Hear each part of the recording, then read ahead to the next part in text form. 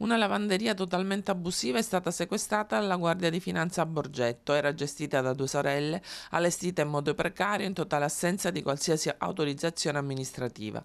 Considerato lo stato fatiscente dei luoghi, le scarse condizioni igieniche, gli spazi angusti in cui vi era un'elevata concentrazione di apparecchiature elettriche, capi in fase di lavaggio e dunque bagnati, ovvero già trattati, confezionati e pronti per la consegna, fili elettrici pendenti, carenza di vie di aerazione situazioni di uscita d'emergenza, i militari hanno proceduto a segnalare alle autorità giudiziarie anche le gravi violazioni riscontrate in materia di sicurezza sul lavoro previste dal testo unico sulla salute e sicurezza e integranti un rischio effettivo sia per i lavoratori addetti che per i clienti, soprattutto in questa fase di emergenza epidemiologica da Covid-19 in cui i processi di sanificazione risultano fondamentali per il contenimento della pandemia. Nei confronti delle due sorelle si procederà inoltre alla contestazione prestazione delle relative sanzioni amministrative per violazioni delle norme specifiche relative all'esercizio abusivo dell'attività di tinto lavanderia, nonché alla contestazione delle relative sanzioni amministrative in materia tributaria